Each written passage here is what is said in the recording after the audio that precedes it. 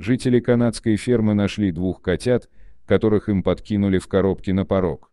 Один из малышей был почти новорожденным, а другой, постарше, и старший котенок не отпускал малыша из лапок, стараясь всячески его согреть.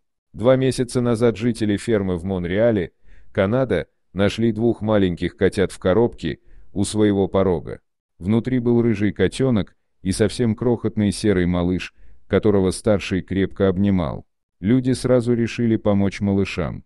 Они передали котят Центру спасения, где их с радостью приняли. Спасатели определили, что рыжему котенку около четырех недель, а серый совсем недавно родился.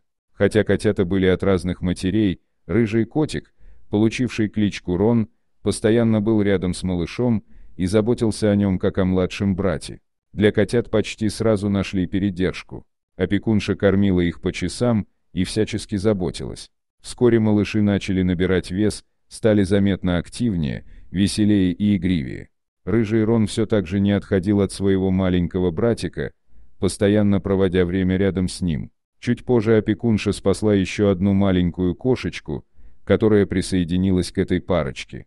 Ее тоже подобрали на улице, и она прошла через много трудностей. Все три котенка быстро сдружились.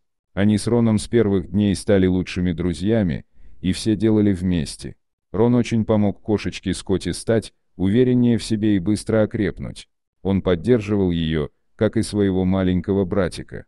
Любви этого рыжего чуда хватало на всех. Сейчас малыши все также подрастают здоровыми и счастливыми на передержке. Скоро, когда они достаточно подрастут, для них подыщут постоянных хозяев.